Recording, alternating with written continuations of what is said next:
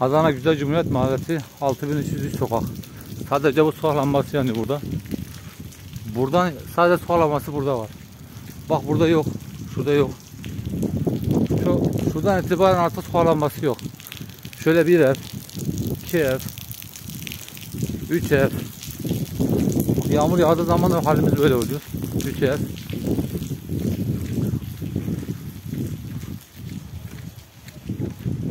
Suları görüyorsunuz değil mi? Kapının hepsi eve çıkıyor. Ev. Kesinlikle burada su lambalar herhangi bir elektrik şey yok. Oo. Dört ev, beş ev, altı bin üç sokak, dokuz var. Altı. Bak, asfalt yolumuz da böyle. Bizim yolumuz şu an. Bak şu evde aynı şekilde, şu aşağıdaki evde aynı şekilde. Bir evde burada var.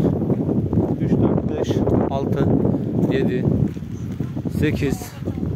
Şöyle gördüğünüz gibi. 8, 8, 9, 9, 9, 9, 10, 11, 12, 13, 14, 15, 16, 17 tane ev. Evet. Buradan itibaren başlıyoruz bak. Sokak lambası zaten görmediğiniz gibi yok. Yol kendi imkanlarımızla şunları getirdik döktük buraya. Dağıttık. Komple çamur gördüğünüz gibi. Tek burada değil yani. Yani böyle.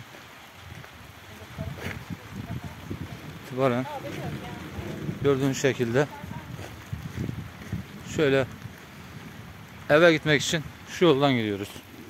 Bildiğiniz çamur. Şu an yağmur fazla yağmadı. Birazdan yağdığı zaman daha hiç gelemeyiz. Batak olacak burası.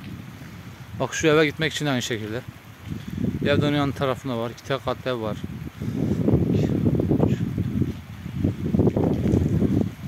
Hani 20 tane ev var. 20 evimizde böyle mağduruz.